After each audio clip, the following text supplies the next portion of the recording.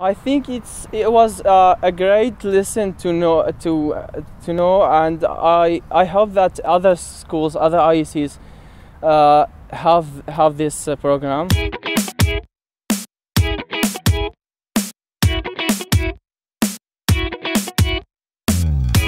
Bankstown Senior College offers intensive English lessons for newly arrived migrants as part of their preparation for high school study if required. It caters predominantly for mature age and re entry students from a variety of cultural backgrounds. IEC students um, follow a five week program um, where we call it Healthy Relationships and we work together uh, with family planning and it's been a wonderful partnership for eight years now. What we cover is firstly types, different types of relationships so they understand that um, they can belong in their family group or they have their friendship group, but also they could have their intimate relationships, and that's all part of our life. Students undertake various programs during their 12 month stay, as intensive English Centre students have a wide range of educational needs, such as learning about healthy relationships and taking care of oneself. The program involves teacher led sessions delivered prior to and following a session delivered by Family Planning New South Wales. The program is run with each new intake of students. Positive feedback from students and teachers is what keeps the sessions continuing.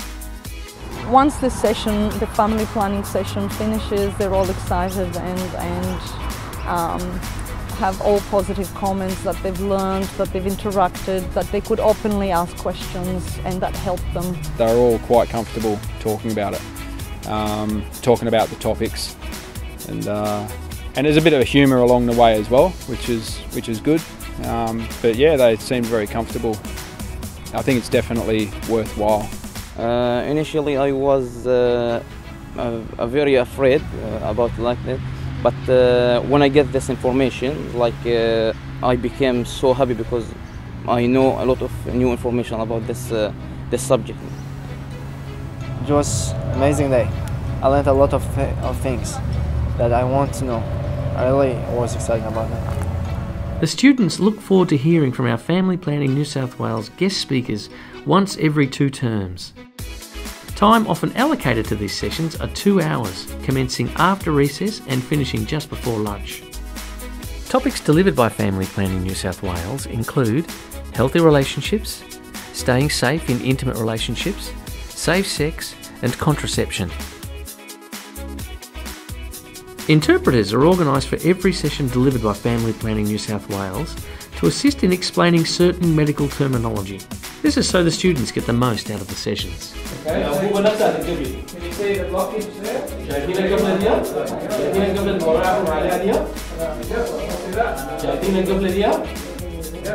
Family Planning New South Wales engages students with a wide range of activities, delivering key messages around each topic area. We have found that this works well for the students when they split into gender specific groups.